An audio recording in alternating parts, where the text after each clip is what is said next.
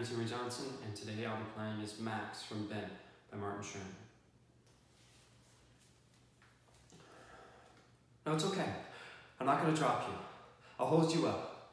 If I stand out of attention, I can hold you. They'll let me hold you. I'm not going to let you down.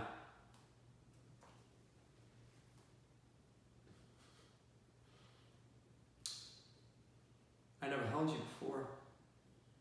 You're safe. I'm not going to drop you. You know what? Horst, you know what? I think,